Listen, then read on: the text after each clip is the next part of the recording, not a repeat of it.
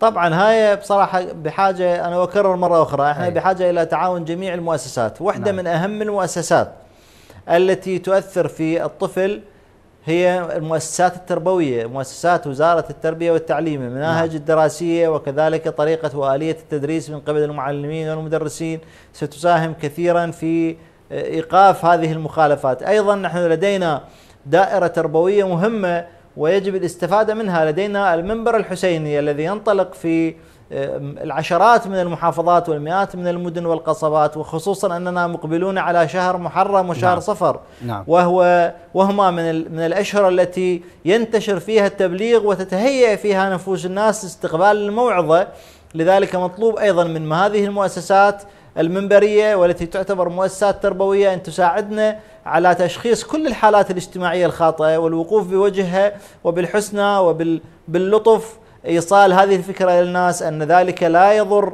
فقط بالطفل أو بالصبي وإنما يضر بالحالة الاجتماعية بشكل عام.